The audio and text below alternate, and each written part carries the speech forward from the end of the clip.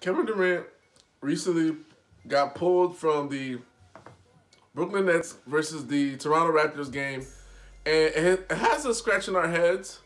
And I'm just gonna be very frank. Initially, when I saw Kevin Durant playing, and then they took him out of the game, the first thought that came to my head was, "Oh shit, he just tore something in his Achilles again, or it's it's something more deeper than what they're letting us on, and they're just using COVID as the excuse as to the reason why they're they're pulling him." But then, you know, thank goodness that wasn't the case at all. And essentially, what happened was Kevin Durant, one of Kevin Durant's friends or associates that was around him had an inconclusive test. When he got the inconclusive test, the NBA said, "Well, okay, we'll we'll allow him to play the game, and it, uh, but he has to come off the bench." He had another test. They did a rapid COVID test, and it came back positive for coronavirus. And they had to pull KD from the game because he was a risk to everybody that he's playing with. And this really bothers me because this is Kevin Durant's livelihood, and he can't necessarily have friends that take this shit so um, lackadaisical to the point where they're willing to encroach on KD with the virus, and you know, shut. Basically, that could shut down the NBA if you really think about it, because Kevin Durant was in the locker room with his cohorts, his colleagues. He was with the assistant coaching staff. The Toronto Rap, they, they played the Toronto Raptors. He played against all those players those players, they could potentially carry the virus to their uh, coaching staff and things of that nature. And then think about this: James Harden's entourage, Ky- Kyrie Irving's entourage, Fred VanVleet's entourage, Kyle Lowry's entourage. All those people could take take that virus from New York and spread it and spread and spread. And this is how es- essential it is to understand how deadly and the exposure to the virus is it's like it multiplies tenfold. One person could affect 10, which can affect 100, which could affect 1,000, which could affect 10,000. And it just goes on and on and on and on, the force multiplier.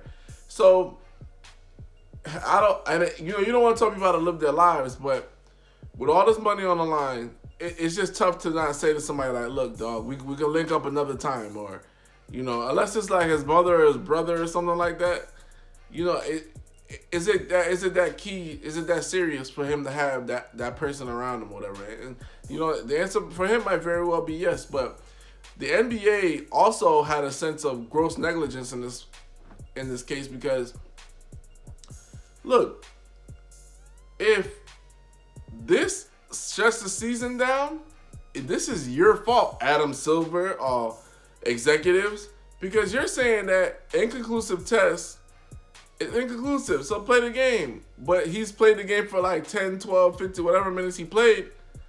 That could tear down everything. Because guys are not around other guys. Toronto might already have traveled. They could have spread it. You know, it, it just it's just a bad look on the NBA. Like the NBA really should treat inconclusive tests like positive tests until they get a negative because Kevin Durant was in the locker room talking to James Harden. So like, what if James Harden, Kyrie Irving, if they get the coronavirus, that Nets, that that billion dollar business is gonna take a hit because now you got to reschedule games. So it, it and this is the problem with the league and just everywhere. Greed supersedes all, right? So you would think like, all right, KD had his friend, they had a, a positive test, whatever the case is. Well, well, we'll, his friend had an inconclusive test, now it's positive, or inconclusive test. We don't know it's positive yet. They were waiting. You would think they'll say, well, sit, KD, sit out this game.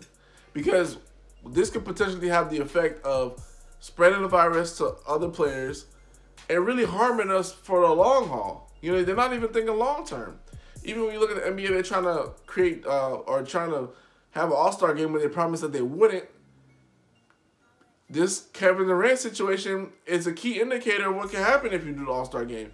Guys that are around their friends and family that have inconclusive tests, you let them play, and then halfway through they only had a positive test. Now that player is positive.